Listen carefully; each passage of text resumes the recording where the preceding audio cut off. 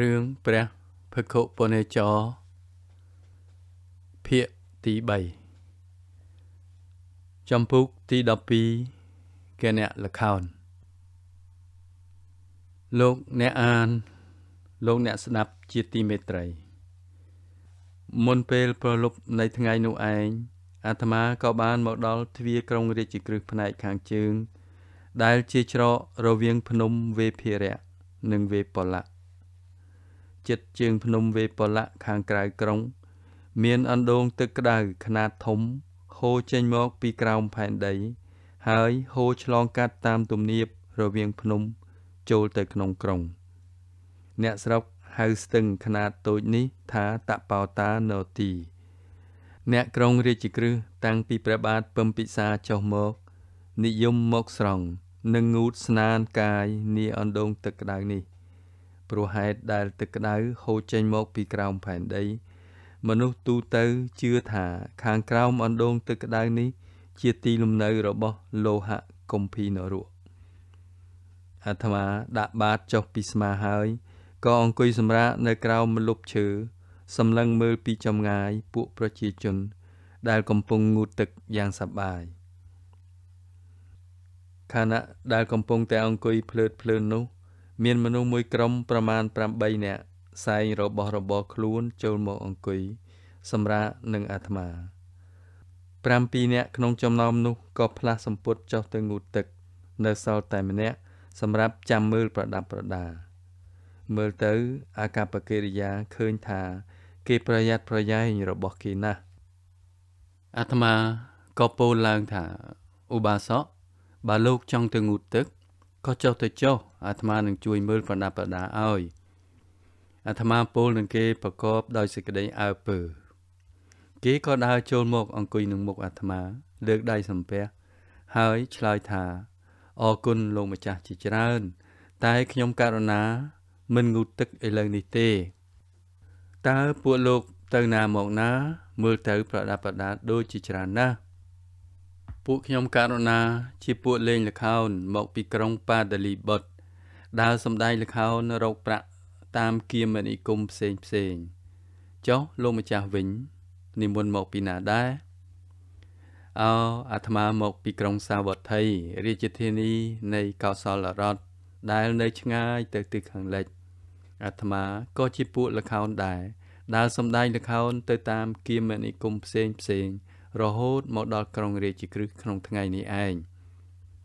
បរោះនោះសម្លឹងមើលមកអាត្មាយ៉ាងសង្ស័យហើយក៏សួរថាលោកម្ចាស់មកតែម្នាក់ឯងឬក៏មានមិត្តរួមដំណើរផងដែរ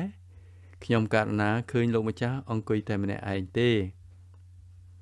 អាត្មាមកតែម្នាក់ឯងទេ គេសើចហើយនិយាយថា បើយ៉ាងនោះគណៈលខោនរបស់លោកម្ចាស់ក៏មានមនុស្សតែម្នាក់ប៉ុណ្ណោះ តើលោកម្ចាស់សំដែងល្ខោនម្នាក់ឯងបានយ៉ាងណាដែរខ្ញុំករណាឆ្ងល់ណាស់ល្ខោនរបស់អាត្មា អាចនឹងផ្សេងពីល្ខោនរបស់ឧបាសកខ្លះអាត្មាសូមសួរបន្តិចថា វិធីការសម្ដែងល្ខោនរបស់លោកជាយ៉ាងណា ដើម្បីនឹងបានប្រៀបធៀបនឹងវិធីការរបស់អាត្មាអោសមណៈនេះប្រហែលជាមិនធ្លាប់មើលល្ខោនទេដឹងខ្ញុំករណានឹងបញ្យល់ប្រកេនស្ដាប់ គេនិយាយយ៉ាងរីករាយកាលនឹងសម្ដែងល្ខោននៅទីណា ពួកខ្ញុំក៏នាំគ្នាសាងរោងឡើងជាមុន យកវាំងននចងបាំងចំកណ្ដាលរោងបែងរោងជាឆាកមុខសម្រាប់សម្ដែងល្ខោន និងឆាកក្រោយ សម្រាប់ជាទីស្នាក់កាលប្រឹក្សាព្រមព្រៀងគ្នាថានឹងសម្ដែងរឿងអ្វីហើយក៏មានការតែងតាំងគ្នាជាព្រះមហាក្សត្រខ្លះ ជាព្រះរាជនីខ្លះ ជាសេនាបតីខ្លះ ជាសេនាកាមាត ជាពុរោហេតាចារខ្លះជាមេតបខ្លះជាចៅខ្លះជាស្រីប្រុសអ្នកបម្រើខ្លះតាមសាច់រឿងតពីនោះក៏ចេញមកសម្ដែងលើវេទិកា ចំពោះមុខមហាជនតាមបទបាតរបស់ខ្លួនអោបើយ៉ាងនោះលខោនរបស់ឧបាសកក៏ជារឿងផោបញ្ឆោតគ្នាឯងយ៉ាងច្បាស់លាស់ អាត្មានិយាយកាត់ឡើងធ្វើឲ្យបរោះនោះសម្លឹងមើលមកអាត្មាដោយសេចក្តីមិនពេញចិត្តតើផោបញ្ឆោតយ៉ាងដូចម្ដេចគេសួរមកអាត្មាវិញផោបញ្ឆោតយ៉ាងនេះគឺរឿងដែលលោកសម្ដែងនោះមិនមែនជារឿងពិត ជារឿងដែលកវីសរសេរឡើងតាមចិន្ទនាការ គឺមនោគតិរបស់គេ ក្នុងវេលាសម្ដែងជួនកាលលោកអាចបានទទួលសន្មតថាជាក្សត្រ តែនោះក៏ត្រឹមតែជាការផោបញ្ឆោតព្រោះលោកមិនមែនជាក្សត្រពិតពិតឯណាជួនកាលក៏ធ្វើជាក្រេវក្រោតខ្លះយំខ្លះសើចខ្លះតែនោះក៏ត្រឹមតែជាការក្លែងធ្វើជួនកាលក៏សម្ដែងថាជាកើតសឹកសង្គ្រាម តែមិនមែនជាសង្គ្រាមពិតជួនកាលលោកអាចធ្វើជាត្រូវនឹងអាវុធស្លាប់ តែមិនមែនស្លាប់ទេព្រោះបើស្លាប់ពិត លោកមិនអាចមកអង្គុយនិយាយនឹងអាត្មា នៅក្នុងទីនេះបានទេ កាលបើយ៉ាងដូចនេះនេះមិនមែនជាលខោនផោបញ្ឆោតទេឬអ្វីបរោះអ្នកលេងលខោនអង្គុយឈ្ងោកមុខនៅស្ងៀមដោយទល់ចំពោះហេតុផលរបស់អាត្មាទើបអាត្មាក៏ពោលបន្តទៅទៀតថា ការលោកផោបញ្ឆោត ប្រជាជនដែលមើលក៏វង្វេងគឺយល់ខុសថាពិតជារឿងនោះមែនហើយកើតអារម្មណ៍ផ្សេងផ្សេង ដូចជាសោកសៅខូចចិត្តខ្លះខឹងស្អប់ខ្ពើមខ្លះ អាណិតឃើញចិត្តឃើញថ្លើមខ្លះកើតការអស់សំណើចសើចសប្បាយខ្លះស្រេចតែសាច់រឿងលោកកុំសំដែង តែស្រេចហើយក៏គ្មានផលអ្វីកើតឡើង ក្រៅពីអារម្មណ៍ផ្សេងផ្សេងតែប៉ុណ្ណោះឯងខ្ញុំករណាយល់ស្របតាមលោកម្ចាស់ហើយ គេពោលឡើងក្រោយពីអង្គុយស្ងៀមយ៉ាងយូរប៉ុន្តែគួរឲ្យប្លែកដូចគ្នាដែរលោកសមណៈ ពួកអ្នកមើលនោះទោះដឹងថាលខោនរបស់ខ្ញុំករណា ជារឿងផោបញ្ឆោតហើយក៏ដោយក៏ប្រជាជននៅតែចូលចិត្តមើលជាពុនពេកនោះជាសេចក្តីពិតព្រោះមនុស្សល្ងងខ្លៅចូលចិត្តការលោលួងលោមផោបញ្ឆោតផ្សេងផ្សេងនោះឯងអាត្មានឹងពិសោធន៍ឲ្យឃើញឥឡូវនេះក៏បានថាមនុស្សយើង ចូលចិត្តការលោលួងលោមផោបញ្ឆោតយ៉ាងណាជួនជាពេលនោះមានបរិសចាស់ម្នាក់ អាយុប្រមាណ60ឆ្នាំដើរកាត់មកអាត្មាបានហៅគេឲ្យមកចូលអង្គុយសម្រាកនៅក្រោមដើមឈើហើយក៏សន្ទនាសាកសួររឿងផ្សេងផ្សេងមនាលឧបាសកតើលោកអាយុប៉ុន្មានហើយ60ឆ្នាំហើយលោកសមណៈអូអាត្មាដូចជាមិនចង់ជឿថាលោកអាយុដល់ទៅ60ឆ្នាំព្រោះមើលរឹកថាທາງលោកនៅក្មេងច្រើន បើឲ្យអាត្មាទាយអាត្មានឹងទាយថា40ឆ្នាំជាយ៉ាងច្រើនលោកនិយាយចប់ប៉ុណ្ណោះបរោះចាស់ក៏ញញឹមដោយសេចក្តីត្រេកអរពេញចិត្តភ្លាមងាកសម្លឹងមើលសរីរៈរូបដ៏ទ្រុឌទ្រោមរបស់ខ្លួនគាត់ក៏និយាយនឹងអាត្មា ដោយសេចក្តីរីករាយសប្បាយជាងដើមក្នុងទីបំផុតគាត់ក៏និមន្តឲ្យអាត្មាចូលឆាន់ផតតាហា នៅក្នុងផ្ទះរបស់គាត់ថែមទៀតឃើញទេឧបាសក កាលបុរសចាស់នោះក្រោកទៅបាត់ទៅបុរសចាស់នោះអាយុ60ឆ្នាំ សង្ខាររាងកាយរបស់គាត់ទ្រុឌទ្រោមក្រំគ្រាគ្រប់ចំណែកទៅហើយគាត់ក៏ដឹងខ្លួនច្បាស់តែលោកអាត្មាលួងលោមថាគាត់នៅក្មេងប៉ុណ្ណោះក៏សំដែងអាការៈថាពេញចិត្តពេញថ្លើមយ៉ាងចេញមុខចេញមាត់នេះសំដែងឲ្យឃើញថាមនុស្សល្ងងរមែងចូលចិត្តការផោបញ្ឆោតលួងលោមចុះលខោនរបស់លោកម្ចាស់នោះ តើលោកសមណៈមានវិធីការសម្ដែងយ៉ាងដូចម្ដេចដែរអោលខោនរបស់អាត្មាជាលខោនពិតសម្ដែងរឿងពិត ធ្វើឲ្យអ្នកស្ដាប់បានដឹងសេចក្តីពិត កើតបញ្ញានិងគំនិតថ្មី យកទៅប្រតិបត្តិដើម្បីប្រយោជន៍សុខដល់ខ្លួននិងដល់អ្នកដទៃកាលទៅសម្ដែងទីណា មិនចាំបាច់សាងវេទិកា ព្រោះអាត្មាប្រើវេទិកាពិត លោកនេះទាំងមូលគឺវេទិកាលខោនរបស់អាត្មាជួនកាលអ្នកស្ដាប់មានត្រឹមតែម្នាក់ជួនកាលក៏មានច្រើនអ្នកអាត្មាសម្ដែងលខោនដោយការអធិប្បាយអំពីបញ្ហាជីវិតផ្សេងផ្សេងឲ្យគេស្ដាប់ បន្ធូរបន្ថយសម្រាលសោកសៅរបស់អ្នកកំពុងសោកសម្រាលបន្ធូរសេចក្តីក្រោធរបស់អ្នកកំពុងក្រោធសម្រាលសេចក្តីស្រវឹងវង្វេងរបស់អ្នកដែលកំពុងតែស្រវឹងវង្វេងបន្ថយសេចក្តីអាក្រក់ របស់អ្នកកំពុងតែធ្វើអាក្រក់បន្ថែមសេចក្តីល្អរបស់អ្នកដែលកំពុងតែធ្វើល្អអ្នកស្ដាប់ល្ខោនរបស់អាត្មាមកហើយ បានទទួលសេចក្តីដឹងសេចក្តីយល់ភ្ញាក់កំណើតកើតគំនិតយ៉ាងប្រសើរគ្រប់គ្រប់គ្នាអោល្ខោនរបស់លោកម្ចាស់ប្លែកណាស់បរោះនោះពោលឡើងយ៉ាងប្រើគំនិត មិនបាច់ប្រើមនុស្សច្រើន មិនបាច់សាងវេទិកា ហើយតើលោកម្ចាស់ គិតយកឈ្នួលពីអ្នកមើលអ្នកស្ដាប់យ៉ាងណាដែរអាត្មាមិនបានយកថ្លៃឈ្នួលពីអ្នកស្ដាប់ជាមាសជាប្រាក់ឬវត្ថុអ្វីអ្វីទេព្រោះមាសប្រាក់បានមកហើយក៏ប្រើអស់ទៅ ផលតបស្នងសងវិញដែលអាត្មាបានទទួល គឺសេចក្តីសុខខ្សែមខ្សាន ដែលខ្លួន បានធ្វើប្រយោជន៍ដល់អ្នកដទៃសេចក្តីប្រជ្ជៈត្រជុំខ្សែមខ្សានចិត្តដែលមិនអាចរកបានពីមាសប្រាក់អោ បើយ៉ាងនោះអ្នកដែលសម្ដែងល្ខោនបែបលោកម្ចាស់បានត្រូវតែជាអ្នកមានចិត្តលះបង់យ៉ាងពិតប្រាកដយ៉ាងនឹងពិតមែនហើយ អ្នកដែលនៅឃើញដល់ខ្លួនឬបពពួករបស់ខ្លួន រមែងសម្ដែងល្ខោនបែបនេះមិនបាន ត្រូវមានចិត្តទូលំទូលាយក្លាហាន និងមានមេត្តាករុណាប្រចាំចិត្តជានិច្ចត្រូវគិតដល់អ្នកដទៃមុនខ្លួនឯង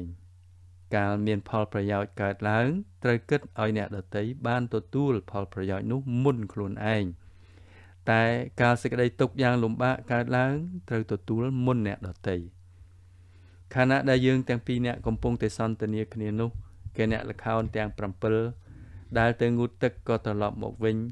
ហើយបានប្រាប់គូសន្ទនារបស់អាត្មាឲ្យទៅងូតទឹក តែគេឆ្លើយថាមិនងូតទឹកទេថ្ងៃនេះ កំពុងតែសន្ទនានឹងលោកម្ចាស់សមណៈសប្បាយស្រួល ពួកយើងមករួមសន្ទនាជាមួយគ្នាចុះនឹងបានសេចក្តីចេះដឹងប្លែកប្លែកល្អល្អបបិទ្ធសមណៈបើសន្មត់ថាមនុស្សក្នុងមគ្គធរដ្ឋនេះ ជាអ្នកឃើញដល់ចំណែករួមច្រើនជាងខ្លួនឯងព្រមលះប្រយោជន៍ខ្លួនសុខរបស់ខ្លួនដល់អ្នកដតីព្រមទទួលសេចក្តីទុក្ខលំបាកជំនួសអ្នកដតីដោយជាលោកម្ចាស់បានពោលមកតើស្រុកទេសនឹងទៅជាយ៉ាងណាទៅ សេចក្តីសុខស្ងប់នឹងផ្សព្វផ្សាយទូទាំងស្រុកទេសនោះ ប្រជាជននឹងគ្រប់គ្រងជីវិតនៅ ដោយសន្តិសុខយ៉ាងពិតប្រាកដតើស្រុកទេសដែលថានោះ មានដែរឬឬថាគ្រាន់តែជាសេចក្តីយល់សប្តិប៉ុណ្ណោះហើយបើមានតើនៅទីណាមនាលឧបាសកក្រុងដែលថានោះឈ្មោះសន្តិនគរនៅក្នុងហេមវន្តៈប្រទេស ជានគរតូច មានប្រជាជនមិនច្រើនណាស់ណា តែមានព្រះមហាក្សត្រគ្រប់គ្រងដូចជានគរទាំងឡាយសន្តិនគរតាំងនៅក្នុងច្រកភ្នំដ៏ឧត្តមសម្បូរពេញទៅដោយធម្មជាតិដ៏ល្អស្រស់គួរទស្សនាព្រះរាជាដែលសោយរាជទ្រង់ស្ថិតនៅក្នុងទសពិតរាជធរយ៉ាងមើងម៉ាត់ទ្រង់ទុកប្រជារាស្ត្រគ្រប់គ្នាដូចជាបុត្រធីតារបស់ព្រះអង្គផ្ទាល់ រាជបុរសអ្នកធ្វើការរាជការ តាំងព្រះនេតព្រះការ ធ្វើការតាមនេតិដោយសុចរិត មិនបាំងលួងឆរាសមិនធ្វើជាត្រីងៀតឆ្លៀតពង មិនធ្វើស្រែលើខ្នងរាសប្រជាជនគ្រប់ជាន់វណ្ណៈប្រកបអាជីវកម្មរបស់ខ្លួន ដោយព្យាយាមគ្មៀតខ្មៃនិងដោយសុចរិត ក្នុងនគរនេះគ្មានចៅលួចប្លន់គ្មានក្តីក្តាំឡើងសាលាគ្មានពន្ធនាគារ ព្រោះគ្មានអ្នកទោសគ្មានការប្រទុសរាយបៀតបៀនគ្នាដោយប្រការផ្សេងផ្សេងមនុស្សគ្រប់គ្នាបានទទួលការអប់រំឲ្យមានចិត្តមេត្តាករុណាអើពើផ្សព្វផ្សាយចំពោះគ្នាស្រឡាញ់គ្នាដូចបងប្អូន ជួយគ្នាធ្វើប្រយោជន៍សាធារណៈដើម្បីប្រយោជន៍រួម ហើយគេរក្សាការពារដោយមើងម៉ាត់ជាងរបស់ផ្ទាល់ខ្លួនតទៅទៀតឧបាសកអើយ បើនឹងពរនីសេចក្តីល្អរបស់នគរនេះ មួយថ្ងៃក៏មិនចប់ផងអោគួរឲ្យអស់ចាមែននាដកទាំង8នាក់ក៏បានលើសំឡេងឡើងព្រមគ្នា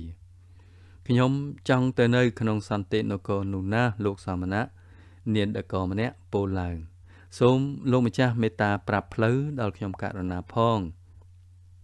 មានមនុស្សម្ដុំនេះជាច្រើនធ្លាប់ទៅនៅក្នុងនគរនោះ តែក្នុងទីបំផុតនៅមិនបាន ត្រូវវិលត្រឡប់មកវិញដោយខ្លួនឯងខ្លះអ្នកនគរនោះ គេបណ្ដេញឲ្យមកខ្លះអោតើព្រោះហេតុអ្វីទៅលោកម្ចាស់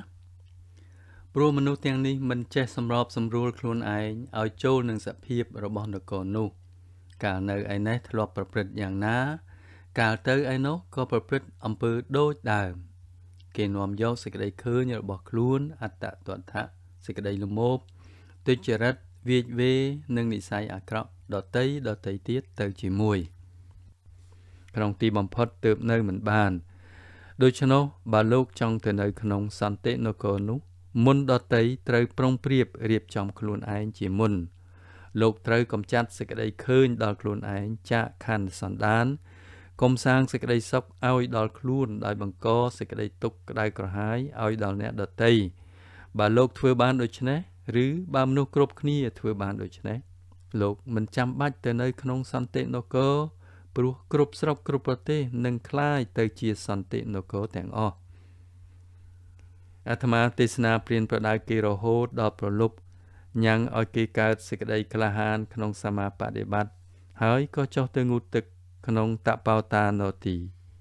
ក្នុងពេលដែលកអ្នកលខោនចូលទៅក្នុងក្រុងយប់នោះ អាត្មាស្នាក់នៅក្រោមម្លប់ឈើក្បែរឆ្នេរតបោតាណូទីនោះឯងសូម្បីបរិយាកាសស្ងៀមស្ងាត់រងាត្រជាក់តែចិត្តរបស់អាត្មាកក់ក្ដៅដោយខ្សែមខ្សានជានិច្ចត្បិតបានធ្វើប្រយោជន៍ដល់អ្នកដទៃចំពុកទី13វត្តវេលវ័នលោកអ្នកអានអ្នកស្ដាប់ទាំងឡាយក្នុងថ្ងៃព្រឹកស្អែកឡើង កាលទ្វារក្រុងបើកអាត្មាក៏ចូលទៅបិណ្ឌបាត នៅក្នុងនគររាជក្រឹសកាលបើបានអាហារល្មមឆ្អែតហើយក៏ចេញទៅឆាន់នៅវេលវ័នណារាមដ៏ជាអធិនឫស្សីដែលព្រះបាទពឹមពិសាព្រះមហាក្សត្រនៃមគ្គធរដ្ឋទ្រង់លើកថ្វាយចំពោះព្រះភិក្ខុទាំងឡាយមានព្រះសម្មាសម្ពុទ្ធជាប្រធាន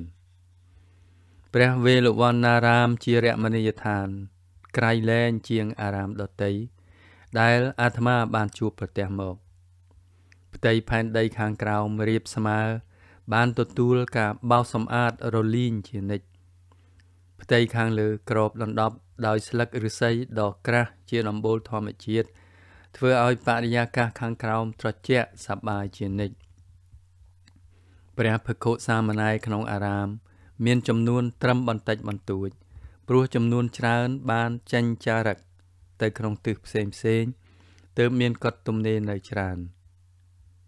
ក្រោយពីប្រគល់ខ្លួនចំពោះព្រះមហាថេរៈជាប្រធានហើយអាត្មាក៏បានទៅនៅកត់តូចមួយខ្នង ដែលជ្រៅចូលទៅក្នុងព្រៃឫស្សី តាំងចិត្តថា ក្រោយពីធ្វើដំណើរដើរផ្លូវមកជាយូរយាក៏នឹងឈប់សម្រាកអប់រំចិត្តឲ្យបានស្ងប់ស្ងាត់ខ្លះ តមកមិនយូរព្រះមហាថេរៈឃើញថាអាត្មាមានវសាចាស់មានការចេះដឹងធម៌វិន័យសំគួរនឹងគ្រប់គ្រងព្រះភិក្ខុសាមណេរជំនួសលោកបានទើបប្រគល់ព្រះអារាមហើយព្រះអង្គក៏លោកលានិមន្តចារឹកទៅ កាលបានទទួលការប្រគល់នេតិហើយអាត្មាក៏តាំងបរិហាដោយល្អិតមកក្នុងការគ្រប់គ្រងអ្នកនៅក្រៅបង្គាប់អាត្មាបានលាតត្រដាងមេត្តា ករុណានិងសេចក្តីយុត្តិធម៌ទុកជាមូលដ្ឋានរបស់ចិត្តប្រកាន់សេចក្តីត្រឹមត្រូវជាគោលលើកដំកើងអ្នកដែលគួរលើកដំកើងតេះដៀលអ្នកដែលគួរតេះដៀលមិនលំអៀងចូលខាងនេះចូលខាងនោះព្រោះស្រឡាញ់ព្រោះស្អប់ព្រោះខ្លាចឬព្រោះងងខ្លៅអាត្មាបានសង្កេតឃើញថាអ្នកតូចក្រោមការងារគ្រប់គ្រងរបស់អាត្មា មានពីរប្រភេទ ប្រភេទទី1ជាអ្នកមានសមត្ថភាពព្យាយាមយកល្អដោយការងារប្រភេទទី2ជាអ្នកគ្មានសមត្ថភាពព្យាយាមយកល្អគប់គួរដោយការអែបអបប្រចុកប្រចែងទាំងពីរពួកនេះច្រើនជាសត្រូវនឹងគ្នាអ្នកធំដែលអន់ទុនខ្សោយច្រើនលំអៀងចូលខាងអ្នកប្រចុកប្រចែងប្រងើយកន្តើយចំពោះពួកការងារធ្វើឲ្យពួកការងារអស់កម្លាំងចិត្តក្នុងការធ្វើការងារ កាលបើដូច្នេះសាមគ្គីធម៌ក៏រលំរលាយគេអ្នកក៏ទ្រុឌទ្រោមអ្នកធំប្រៀបដូចជាបង្គោលអ្នកតូចប្រៀបដូចជាគោច្រើនដែលចងទុកនឹងបង្គោលបើបង្គោលមិនរឹងប៉ឹងមាំមួនគោទាញរហូតដួលសណ្ដកកាលបង្គោលដួលសណ្ដកគោក៏បែកខ្ញែកគ្នារប៉ាត់រប៉ាយបង្គោលគឺអ្នកធំអាចនឹងមាំរឹងគង់វង្សព្រោះអាស្រ័យយុត្តិធម៌ជាសំខាន់ ប្រកាន់ផលការងារជាគោលពិចារណាសេចក្តីត្រឹមត្រូវ មិនមែនសេចក្តីប្រចប់ប្រចែងអែបអបទេ លោកអ្នកអាន លោកអ្នកស្ដាប់ជាទីមេត្រី អ្នកធំដែលខ្វះមេត្តាជាមូលដ្ឋានរបស់ចិត្តច្រើនកាចសាហាវធ្វើទុកបុកម្នេញចំពោះអ្នកតូច ប្រើការជេរឌៀលវាយដំច្រំធាក់ជាឧបករណ៍ធ្វើឲ្យអ្នកតូច ខ្លោបខ្លាចជាងសេចក្តីគោរព ក្នុងសេចក្តីខ្លាចនោះ មានសេចក្តីស្អប់កប់នៅជាមួយផង អ្នកតូចធ្វើតាមតែចំពោះមុខកំបាំងមុខគេនឹងនិន្ទា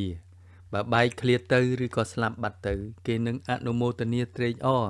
ថាទៅស្រឡះទៅចុះអ្នកធំដែលខ្វះករុណាជាមូលដ្ឋានរបស់ចិត្តច្រើនជាមនុស្សកំណាញ់បានបច្ច័យលៀបផលអ្វីមកក៏សន្សំលាក់ទុកចំពោះតែខ្លួនឯងមិនបែងចែកគ្នា អ្នកធំធ្វើដូច្នេះមិនអាចបណ្ដោះសេចក្តីស្រឡាញ់ឲ្យកើតនៅក្នុងចិត្តរបស់អ្នកតូចបានទេ អ្នកធំដែលខ្វះមុទិតាជាមូលដ្ឋានរបស់ចិត្តច្រើនតែជាមនុស្សច្រណែនរឹស្យាមិនលើកដំកើងឲ្យតម្លៃសេចក្តីល្អប្រសើររបស់អ្នកតូច ខ្លាចគេខ្ពស់មុខខ្ពស់មាត់ជាងខ្លួន ឬក៏កាត់មុខកាត់មាត់ខ្លួនរកផ្លូវទំលាយបំផ្លាញរាំងរាកាលអ្នកតូចបានល្អ អ្នកធំដូច្នេះឈ្មោះថាបង្ក្រិនជំទាស់សេចក្តីចម្រើនរបស់អ្នកតូចអ្នកធំដែលខ្វះឧបេក្ខាជាមូលដ្ឋានរបស់ចិត្តច្រើនតែជាមនុស្សក្លែងក្លងធ្ងន់ម្ខាងម្ខាង ប្រោសប្រានចំពោះអ្នកតូចដែលរូបល្អមានអាមិសៈឬវត្ថុឲ្យខ្លួនច្រើនច្រើន ឬមានអធិពលផ្លូវដតីដតីពូកែប្រចប់ប្រចែងអែបអបសំបីពួកនេះធ្វើខុស ក៏ធ្វើជាមិនដឹងមិនលឺបើធ្វើល្អត្រឹមបន្តិចបន្តួចក៏លើកដំកើងសរសើរអ្នកធំដូច្នេះប្រៀបដូចជាមង្គលដែលដោតនៅលើពំនូខ្សាច់លោកអ្នកអានអ្នកស្ដាប់ទាំងឡាយក្នុងការបរិហាពួកគណៈជំនួសព្រះមហាថេរៈអាត្មាខំតាំងខ្លួនទុកនៅក្នុងមេត្តាស្រឡាញ់អ្នកតូចដូចជាកូនចៅករុណាអាណិតសង្គ្រោះដោយបច្ច័យលៀប តាមមានតាមបាន មុទិតាត្រេកអរសរសើរអ្នកតូចដែលបានល្អឧបេក្ខាទុកដាក់ខ្លួនជាកណ្ដាលអាស្រ័យយុត្តិធម៌ជាគោលអ្នកតូចស្រឡាញ់គោរពអាត្មា ទាំងចំពោះមុខនិងកំបាំងមុខប្រតិបត្តិតាមអវាទរបស់អាត្មាដោយសេចក្តីពេញចិត្តសាមគ្គីមូលមិត្តគ្នាដោយល្អញ៉ាំងការងារឲ្យសម្រេចយ៉ាងរៀបរយ ជារៀងរៀបដរាបមក ក្នុងថ្ងៃធម្មសាវណៈអាត្មាត្រូវសម្ដែងធម៌ចំពោះពុទ្ធបរិស័ទជំនួសព្រះមហាថេរៈអាស្រ័យខ្លួនជាអ្នកចេះដឹងនៅធម៌និងយល់នៅក្នុងវិធីទេសនាខ្លះទើបមានប្រជាជននិយមចូលចិត្តក្នុងធម៌ទេសនារបស់អាត្មាជាច្រើន។ចំនួនពុទ្ធបរិស័ទដែលចូលមកស្ដាប់ទេសចេះតែកើនថែមឡើងជារៀងរាល់ថ្ងៃ ក្នុងមិនយូរកតិគុណរបស់អាត្មាក៏លន់ឮខ្យល់ខ្ចាយ ផ្សាយទូទៅពេញក្រុងរាជក្រឹសកាលឈ្មោះសំលេងល្បីល្បាញហើយលៀបយោះក៏ហូរតាមមកបច្ច័យ4មានអាហារជាដើម ផ្ដើមហូរកើតកើនចម្រើនឡើងចំពោះអាត្មា តែអាត្មាមិនបានស្រវឹងវង្វេងជាប់នឹងវត្ថុធាតុទាំងនោះទេអាត្មាយកទុកតែល្មមឆាន់មួយឆ្អែតនៅក្នុងមួយថ្ងៃ ហើយក៏ចែកចាយដល់ភិក្ខុសាមណេរទូទៅ អាត្មាកាន់ឧត្តមគតិថាស៊ីល្មមឲ្យតែត្រឹមជីវិតរស់នៅ និងរស់នៅ ដើម្បីប្រព្រឹត្តសេចក្តីល្អនិងធ្វើការងារតែប៉ុណ្ណោះថ្ងៃយប់កន្លងទៅតាមលំដាប់អាត្មាអាស្រ័យនៅក្នុងព្រះវេលវណ្ណារាម ប្រកបដោយសេចក្តីសុខសាន្តខ្សាន ទាំងចិត្តទាំងកាយទីកន្លែង អាកាសនិងមនុស្សក្នុងព្រះវេលវណ្ណ ជាទីត្រូវអធិស្ឋានរបស់អាត្មាជាពួនពេកអាត្មាតាំងចិត្តនៅនឹងក្នុងព្រះវេលវណ្ណឲ្យយូរលង់តទៅទៀតឬក៏នៅរហូតអវសាននៃជីវិតអាត្មានៅបរិហាគណៈសង្ឃនិងព្រានប្រដៅតទៅ នៅក្នុងព្រះវេលវណ្ណារាមនោះឯងការងារដើម្បីប្រយោជន៍រួមរបស់អាត្មាបានសម្រេចផលយ៉ាងល្អក្រៃលែង ជនជាអនេកបានត្រូវនាំគ្នាចេញចាកសេចក្តីងងឹតគឺមោហៈទៅកាន់ដែននៃសេចក្តីភ្លឺស្វាង គឺបញ្ញា ចាកការប្រឡាក់ស្មោកគ្រោកដោយអកុសល ទៅកាន់ដែនដ៏ល្អស្អាតបរិសុទ្ធគឺកុសល ខ្លួនអាត្មាដូចជាដួងប្រទីបដ៏រុងរឿងសម្រាប់បំភ្លឺផ្លូវជីវិតនៃអ្នកនគររាជក្រឹសនិងមគ្គធរដ្ឋប្រយោជន៍ដែលអាត្មាបានធ្វើឲ្យដល់ពលលោក មានច្រើនលើសកណនីតែការងារដើម្បីប្រយោជន៍រួមនេះឯងបានប្រែមកជាកំពែងមហិមារារាំងខាំងអាត្មាទុក មិនឲ្យមានឱកាសបំពេញព្យាយាម ដើម្បីសម្រេចមគ្គផល ដែលជាចំណុចខ្ពស់បំផុត នៅក្នុងព្រះពុទ្ធសាសនាចម្ពោះទី14នៅលាងសុករខាតា លោកអ្នកអាន លោកអ្នកស្ដាប់ជាទីមេត្រីទាំងឡាយរវាងដែលនៅក្នុងព្រះវេលវណ្ណារាម បានមានហេតុការច្រើនយ៉ាងឯអាត្មាក៏មានចំណែកចូលទៅតាក់ទងផងនឹងនាំមកនិយាយឲ្យស្ដាប់ចំពោះរឿងខ្លះល្មមជាគ្រឿងប្រដាប់សតិបញ្ញា ថ្ងៃមួយអាត្មា បានឡើងទៅធ្វើការសម្ងាត់សតិអារម្មណ៍នៅនាលអាងសុករៈខាតា ភ្នំកិច្ចកោត គឺជាភ្នំដែលមានសន្តានដូចជាក្បាលត្មាតលើភ្នំនេះមានលអាងឈ្មោះសុករៈខាតា ជាលអាងជ្រៅដែលមានប្រវត្តិថាពីដើមមាត់លអាងនោះ មានដីបិទចិត្តគ្មាននរណាដឹងថាជាលអាងទេ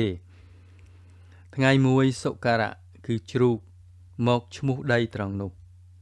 គ្រាតមកភ្លៀងច្រោះដី ស្នាមនៃលអាងក៏ប្រកាសឡើង នាយព្រានម្នាក់បានសង្កេតឃើញក៏សន្និដ្ឋានថាប្រហែលជាលអាងរកសេចក្តីស្ងប់ស្ងាត់នៃអ្នកដែលមានសិលកាលពីមុនមកទើបនាំគ្នាយកដីចាញ់តាក់តែងបរិវេណរៀបចំឲ្យសំរុំហើយថ្វាយដល់ព្រះដ៏មានព្រះភិក្ខលាអាងនោះឈ្មោះសុករៈខាតា ប្រែមកថាលាអាងដែលជ្រូកឈ្មោះតាំងពីគ្រានោះមកអាត្មាចូលចិត្តកន្លែងនោះណាស់ ព្រោះជាទីស្ងាត់ស្ងៀមសមដល់ការបំពេញព្យាយាមក្រៃលែងជាងនោះកាលបើឈរនៅលើមាត់លាងហើយសម្លឹងមើលមកខាងក្រោមនឹងបានឃើញអគារសំណង់ផ្លូវនិងមនុស្សដើរទៅមក ក្នុងផ្លូវនៃក្រុងរាជក្រឹសបានយ៉ាងច្បាស់លាស់របស់ទាំងនេះ កាលសម្លឹងមើលពីទីខ្ពស់ដូច្នេះនឹងឃើញជារបស់តូចតូចដោយរបស់ក្មេងលេង អាត្មាចូលចិត្តសម្លឹងមើលទេសភាពដូច្នោះព្រោះវាធ្វើឲ្យឃើញមនុស្សជាសត្វលោកនឹងឃើញអគារផ្ទះសម្បែងទាំងនោះ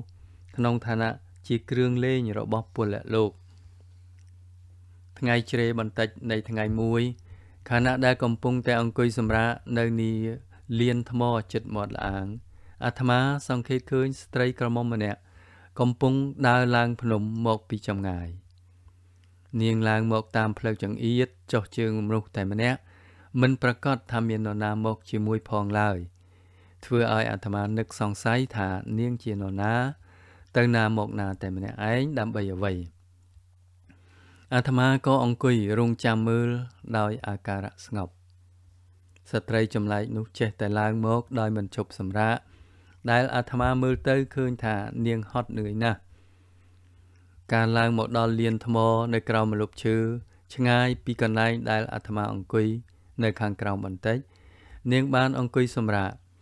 នាងផ្អែកខ្នងទៅនឹងដើមឈើធំ ហើយក៏សណ្ដូកជើងទៅខាងមុខ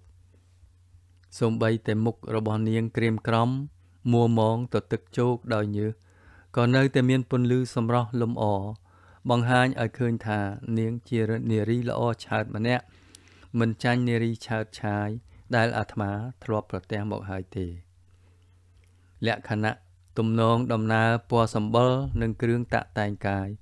សម្ដែងឲ្យឃើញថានាងមិនមែនជាមនុស្សជាន់ទាបវេលានោះនាងក្រមុំចម្លែកមិនទាន់ឃើញអាត្មា បើនាងឃើញអាត្មានឹងឃើញថាអាត្មាកំពុងតែសម្លឹងមើលនាង នាងប្រហែលជាអៀនខ្មាស់អាត្មាហើយមើលទៅទើបអាត្មាបែរមុខទៅទិសដតីខ្លែងជាមិនឃើញនាង មួយសន្ទុះអាត្មាក៏បែរមកមើលនាងម្ដងទៀតម្ដងនេះអាត្មាបានទទួលសេចក្តីងឿងឆ្ងល់ប្លែកនៅក្នុងចិត្តកាលឃើញនាងក្រមុំនោះកំពុងយំយ៉ាងគួរឲ្យអាណិតពន់ពេកសំដែងឲ្យឃើញសេចក្តីចុកសៀតចង្អៀតចង្អល់ណាមួយតាមប្រក្រតីអាត្មាជាមនុស្សពេញព្រៀបដោយករុណា កាលឃើញនរណាមានអាកប្បកិរិយាជាទុកមិនអាចអង្គុយមើលបំណាំបាន ក៏ចូលទៅប្រស័យសាកសួររឿងរ៉ាវផ្សេងផ្សេងរហូតដល់ដឹងរឿងរ៉ាវច្បាស់លាស់ហើយក៏រិះរកផ្លូវជួយសង្គ្រោះដោយវត្ថុខ្លះដោយធម៌ខ្លះតាមសំគួរលោកអ្នកអានលោកអ្នកស្ដាប់ ភាពដែលនៅខាងមុខខណៈនេះធ្វើឲ្យអាត្មាកើតសេចក្តីអាណិតអាសូរយ៉ាងខ្លាំងកាលមិនអាចទ្រាំអង្គុយស្ងៀមបានទើបអាត្មាក្រហមឡើងតិចតិច ដើម្បីជាសញ្ញាឲ្យនាងក្រមុំនោះដឹងថា ក្នុងបរិវេណនោះ មិនមែនមានតែនាងម្នាក់ទេ នាងបែរមករកអាត្មាភ្លាម លើកជាយសម្ពុតជូតទឹកភ្នែកខណៈដែលនាងកំពុងតែភាំងនោះអាត្មាក៏ដើរចុះទៅឈរនៅក្នុងរយៈឆ្ងាយពីនាងប្រមាណ2ម៉ែត្រហើយក៏ផ្ដើមសួរនាងមនាលកលធីតានាងមានធុរៈសំខាន់អ្វីទីណា ទើបឧស្សាហ៍ឡើងភ្នំមក តែម្នាក់ឯងដូច្នេះផ្ទុយពីឆ្លើយចំពោះសំណួរនាងក្រមុំបែរជាយំខ្សឹកខ្សួលខ្លាំងឡើងទើបអាត្មានិយាយតទៅទៀតថាកលធីតាអើយនាងប្រហែលជាមានទុកចុកណែនអ្វីម្យ៉ាងហើយ ប្រហែលជានាងបំរុងទៅសម្លាប់ខ្លួនទេដឹងត្រូវហើយខ្ញុំករណានឹងទៅលោតសម្លាប់ខ្លួន នាងក្រមុំឆ្លើយភ្លាម សម្លឹងមើលមកអាត្មាដោយនឹកចម្លែកក្នុងចិត្តដែលខ្ញុំទាយគោលបំណងរបស់នាងត្រូវព្រោះមិនអាចធន់ទ្រាំចំពោះសេចក្តីទុក្ខរបស់ជីវិតនេះបានទេទុក្ខរបស់នាងធំណាស់ហើយមើលទៅ ចូលនិយាយឲ្យអាត្មាស្ដាប់ផងចុះរឿងរ៉ាវយ៉ាងដូចម្ដេចខ្លះអាត្មាដូចជាអាណិតនឹងឃើញចិត្តថ្លើមរបស់នាងណាស់នាងក្រមុំបាននិយាយរឿងរ៉ាវរបស់នាងឲ្យអាត្មាស្ដាប់ដោយទឹកភ្នែកថា ទុករបស់នាង កើតពីសេចក្តីថ្លោះខុសបំណងនៅក្នុងរឿងស្នេហា កាលមុននេះមិនយូរប៉ុន្មានមេដាបៃតារបស់នាង បានបង្គាប់ឲ្យនាងរៀបការនឹងព្រាមអាយុចាស់ស្រុកស្ដំម្នាក់តែនាងមិនព្រមទើបរត់ទៅរកប្រុសកំឡោះម្នាក់ដែលនាងស្រឡាញ់តែនាងក៏បានជួបប្រទះនឹងសេចក្តីខុសសង្ឃឹមព្រោះបរោះកំឡោះនោះបានរៀបការនឹងស្រីដតីទៅហើយ មុននឹងនាងទៅដល់ត្រឹមតែមួយថ្ងៃប៉ុណ្ណោះនាងមិនព្រមត្រឡប់ទៅផ្ទះរបស់ខ្លួនវិញទេ ព្រោះសេចក្តីខូចចិត្តចេះតែដើរបនិចរទៅយ៉ាង មនុស្សដែលប្រះចាកសតិអស់វេលាដល់ទៅ3ថ្ងៃ កាលមិនអាចទ្រាំចំពោះសេចក្តីទុកតឹងចិត្តឆ្អិតទ្រូងបានទើបកាត់ចិត្តនិងលោតទៅក្នុងជ្រោះសម្លាប់ខ្លួនអោរឿងរបស់នាងជារឿងដែលគួរឃើញចិត្តច្រើន អាត្មានិយាយកាលបើស្ដាប់រឿងស្រីក្រមុំនោះចប់ហើយនរណាក៏ដោយបើធ្លាក់ទៅក្នុងភាវៈដូចនាងក៏គង់នឹងកាត់ចិត្តសម្រាប់ជីវិតដូចយ៉ាងនាងទុកកាយជារឿងដែលល្មមអត់ទ្រាំបាន តែទុកចិត្តទ្រាំបានដោយលំបាកណាស់វិធីកែទុកចិត្តមានពីរតែប៉ុណ្ណោះគឺសម្រាប់ខ្លួនឲ្យស្លាប់ស្រឡះទៅ និងអត់ទ្រាំទាល់តែទុកនោះរលត់ មនុស្សជាច្រើនបានជ្រើសរើសយកវិធីសម្រាប់ខ្លួន តែដែលជ្រើសរើសយកវិធីអត់ធន់ក៏មានមិនតិចដែរតើនាងជ្រើសរើសយកវិធីណា ជ្រើសរើសយកវិធីស្លាប់ នាងក្រមុំឆ្លើយយ៉ាងដាច់ខាតតើនាងជឿពិតឬទេថាកាលបើនាងស្លាប់ទៅហើយនឹងរួចចាកផុតពីទុក្ខខ្ញុំករណាជឿយ៉ាងនោះ នាងក្រមុំឆ្លើយយ៉ាងមិនប្រកបនៅក្នុងចិត្ត អោនាងចូលចិត្តខុសហើយ នាងកំពុងតែបំផ្លិចបំផ្លាញខ្លួនឯងដោយសេចក្តីយល់ខុសទុករបស់នាងមិនបាននៅត្រង់ជើងដៃទ្រូងស្មាបេះដូងលលាក្បាល ឬក៏ផ្នែកណាមួយនៃរាងកាយរបស់នាងទេ តែនៅក្នុងចិត្តរាងកាយត្រឹមតែជារបស់ក្រោតក្រៀតមិនដឹងរឿងរ៉ាវអ្វីទាំងអស់ចិត្តទេតើដែលជាអ្នកទទួលទុក កាលរាងកាយស្លាប់ចិត្ត នៅមានការចាប់កំណើតកើតតទៅទៀតអាចនាំយកសេចក្តីសុខសេចក្តីទុក្ខទៅជាមួយដូច្នេះសេចក្តីស្លាប់មិនមែនជាទីបំផុតរបស់សុខឬទុក្ខទេ តែសេចក្តីសៅមងឬសេចក្តីបរិសុទ្ធទេ ដែលទៅជាមួយបាន ការសម្លាប់ខ្លួនដោយការទម្លាយរាងកាយដែលមិនដឹងរឿងរ៉ាវអ្វីឡើយឲ្យស្លាប់ទៅជាយ៉ាងឥតប្រយោជន៍ការសម្លាប់ខ្លួនដើម្បីឲ្យរួចចាកទុក្ខ ជាការកែឬរំដោះទុកខុសទំនងដោយបរោះម្នាក់ត្រូវគេជេរស្ដីកើតសេចក្តីឈឺចាប់ក្តៅក្រហាយចង់រួចចាក់ទុកក៏យកភ្លើងទៅដុតផ្ទះរបស់ខ្លួនទាល់តែផ្ទះឆេះខ្ទេចខ្ទីកាលដែលផ្ទះមិនដឹងរឿងរ៉ាវអ្វីដោយខ្លាចជាធ្យូងជាផេះទៅហើយតើគេរួចចាក់ទុកឬទេ ទេគេបែរជាមានទុកកាន់តែធ្ងន់ឡើងព្រោះទុកមិនមែននៅនឹងផ្ទះសំបែង តែទុកនៅក្នុងចិត្តរបស់គេនោះឯងដូច្នេះកាលចិត្តកើតទុកត្រូវកែត្រង់ចិត្តកុំទៅទំលាយរាងកាយដែលមិនដឹងរឿងរ៉ាវអ្វីនោះទេកាលសង្កេតឃើញស្រីក្រមុំនៅអង្គុយស្ងៀមអាត្មាក៏សួរឡើងថាមនាលកុលធីតាកាលសេចក្តីស្លាប់មិនអាចធ្វើឲ្យនាងរួចចាក់ទុកបានដូច្នេះហើយ ការសម្លាប់ខ្លួនឯងក៏គ្មានប្រយោជន៍ទេ គួរឲ្យស្ដាយណាស់ដែលនាងមកសម្លាប់ខ្លួនដូច្នេះអត់ទ្រាំតទៅទៀតមិនបានទេឬអត់ទ្រាំមិនបានទេ នាងក្រមុំឆ្លើយយ៉ាងល្វើយតើប៉ុន្មានថ្ងៃហើយ ដែលនាងជួបទុកធ្ងន់នេះ3ថ្ងៃហើយលោកម្ចាស់នាងប្រាប់ថាអត់ទ្រាំមិនបាន តែនាងក៏អត់ទ្រាំបានមក3ថ្ងៃដែរហើយបើនាងអត់ធ្មត់សង្កត់ចិត្តតទៅ3ថ្ងៃទៀតនោះទុករបស់នាង ក៏នឹងថយចុះសន្សឹមសន្សឹមហើយទីបំផុតវាក៏នឹងបាត់ទៅឯងលោកម្ចាស់គ្រាន់តែនិយាយយ៉ាងនោះយ៉ាងនោះនរណានរណាក៏អាចនិយាយបានដែរនាងក្រមុំប្រកែកខ្ញុំករណាអត់ទ្រាំមក3ថ្ងៃក៏សឹងតែមិនបានទៅហើយសេចក្តីទុក្ខរបស់ខ្ញុំករណាគ្មានផ្លូវនឹងថយចុះទេ មានតែកើនទ្វេឡើងថែមទៀតខ្ញុំករណាជឿថា មិនមានថ្ងៃស្រុតស្រកថយចុះមកជាដាច់ខាតអោកលធីតាហើយក្មេងនៅវ័យខ្ចីនឹងដឹងក្តីតិចទើបកើតមកតន់លោកត្រឹមតែរយៈវេលាដ៏ខ្លី កាលឃើញព្រះអាទិត្យរះលិចឡើង លើផ្ទៃពិភពលោក ហើយសន្សឹមខ្ពស់ឡើង នៅក្នុងផ្ទៃមេឃជាមួយនឹងការបញ្ចេញរស្មីក្តៅឡើង ក្តៅឡើង គ្រប់ខណៈក៏តក់ស្លុតរន្ធត់ខ្លាច ព្រោះយល់ថាព្រះអាទិត្យនឹងខ្ពស់ឡើង ទៅមិនឈប់ឈរមិនមានវេលានឹងចុះទៀបរស្មីដ៏ក្តៅក៏មុខជាបន្ថែមឡើង បន្ថែមឡើង រហូតដល់អវ័យអវ័យក្នុងលោកនឹងត្រូវតែឆេះខ្ទេចខ្ទីជាធូលីអស់ជាមិនខាន កាលក្មេងនោះកើតសេចក្តីភ័យខ្លាចចំពោះព្រះអាទិត្យហើយក៏រកផ្លូវចេញទៅ ដោយការសម្លាប់ខ្លួនឲ្យស្លាប់ជាមុនយ៉ាងនេះគួរឲ្យស្ដាយនិងគួរឲ្យអាណិតសង្វេគ ព្រោះបើវាអត់ទ្រាំតទៅទៀតបន្តិច វាក៏នឹងជួបថាកាលព្រះអាទិត្យឡើងដល់កម្រិតខ្ពស់បំផុត បានពាក់កណ្ដាលមេឃហើយព្រះអាទិត្យក៏សន្សឹមសន្សឹមជ្រេទេទៀបចុះរស្មីក៏សន្សឹមសន្សឹមអន់ខ្សោយទៅរហូត នៅក្នុងទីបំផុតក៏លិចលឹបបាត់ទៅក្នុងជើងមេឃគំនិតដែលគេគិតស្មានថានឹងត្រូវកម្ដៅព្រះអាទិត្យដុតបំផ្លាញឲ្យស្លាប់នោះក៏មិនកើតឡើង គេសាងទុកសោកឡើង ដើម្បីបញ្ឆោតខ្លួនឯងពិតពិត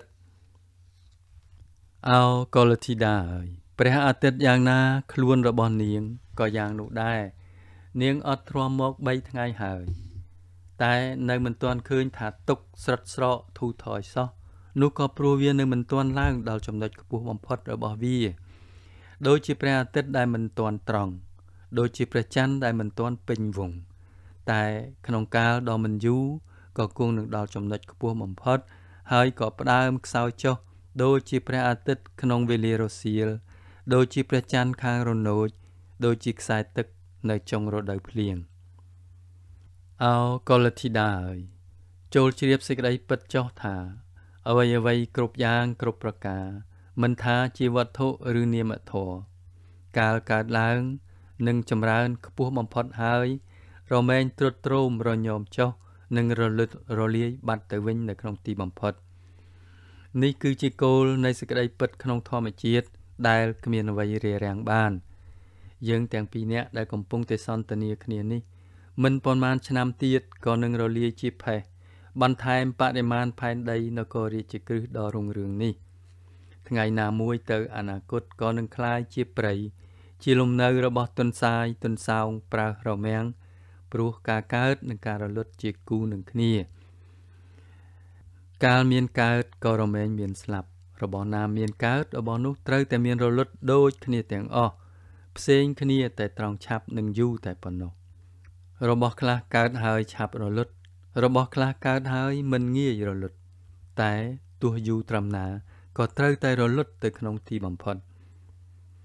មនាលកុលធីតាអាត្មាខ្លួនឯងក៏ជួបប្រទះនឹងទុកបែបដូចនាងដែរកាលនៅក្នុងក្រុងសាវត្ថីអាត្មាកើតសេចក្តីស្រឡាញ់និងមានសេចក្តីសង្ឃឹមមាំនៅក្នុងកុលស្ត្រីម្នាក់តមកមានប្រុសដតីមកប្រណាំងប្រជែងដណ្ដើមយកនាង ទៅពីអាត្មា ទុកដ៏ធំក្រៃលែងបានកើតឡើងសង្កត់សង្កិនចិត្តអាត្មា ស្ទើរទ្រាំមិនបានអាត្មាបានកិច្ចចិញ្ចាក្រុងសាវត្ថី ធ្វើបនិចរដោយគ្មានគោលដៅអាស្រ័យសេចក្តីអត់ធន់និងបានជួបប្រទះហេតុការណ៍ផ្សេងផ្សេង ក្នុងការធ្វើដំណើរដ៏វែងឆ្ងាយនិងយូរយារទុករបស់អាត្មាក៏សន្សំសន្សំបាត់ទៅទោះបីមិនបាត់រលីងក៏ធ្វើឲ្យសប្បាយចិត្តច្រើនឡើងដែរអោកុលធីតាអើយទុករបស់នាងជាទុកធំទើបងុំយូរមិនងាយរលត់តែនឹងត្រូវរលាយរលត់បាត់ទៅយ៉ាងពិតប្រាកដ ដូច្នោះនាងមិនបាច់ធ្វើអ្វីទាំងអស់គ្រាន់តែអត់សង្កត់ចិត្តប៉ុណ្ណោះរងរហូតដល់ទុករបស់នាងនឹងដល់ចំណុចរលត់តពីនោះនាងក៏នឹងសប្បាយចិត្តដូចដើមនាងធីតាក៏និយាយឡើងថាទម្រាំទុកដល់ខ្ញុំប្រកាសរណារលាយរលត់ខ្ញុំករណាមុខជាបែកទ្រូងស្លាប់ទៅហើយអាត្មាកើតមកក្នុងលោកនេះជាង30ឆ្នាំហើយ ក៏មិនធ្លាប់ឃើញនិងមិនធ្លាប់បានឮថាមាននរណាស្លាប់ព្រោះបែកទ្រូងស្លាប់ទេ តែដែលស្លាប់ព្រោះម្ចាស់ខ្លួនយកសាស្ត្រាវុធទំលាយឲ្យវាបែកធ្លាយនោះធ្លាប់បានឃើញច្រើនដែរដូច្នេះអាត្មាសូមធានាថាទ្រូងរបស់នាងប្រកាសជាមិនបែកទេ ហើយនាងក៏គ្មានថ្ងៃស្លាប់ព្រោះបែកទ្រូងដែរវាលែងតែនាងចាក់ទំលាយវាឲ្យធ្លាយតែប៉ុណ្ណោះលោកអ្នកអានលោកអ្នកស្ដាប់ទាំងឡាយ កាលអាត្មានិយាយមកដល់ត្រង់នេះនាងក្រមុំដែលក្រៀមក្រំដោយទុកហាក់ដូចជាមានស្មារតីឡើងវិញខ្លះនាងនិយាយរាយការប្រាប់ទុករបស់នាងចំពោះអាត្មា